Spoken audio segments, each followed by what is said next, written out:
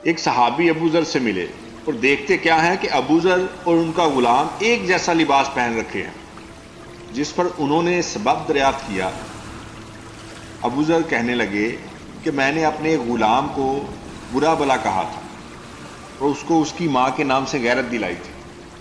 जब आपके इलम में आया तो आपने कहा कि अबूजर क्या तूने इसे इसकी माँ के नाम से गैरत दिलाई है? बेशक तुझ में अभी भी कुछ जमाना जहलीत के असरात बाकी हैं।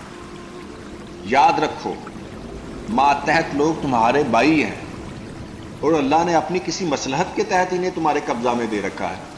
तो जिसके मातहत उसका कोई भाई हो तो उसे भी वही खिलाए जो वो खुद खाता है और वही पहनाए जो वो खुद पहनता है। और उस पर काम का इस कदर बोझ ना डाले कि उसके लिए बायस तकलीफ़ हो। और अगर कोई मुश्किल काम उस पर डाले तो खुद भी उस काम में उसकी मदद करे।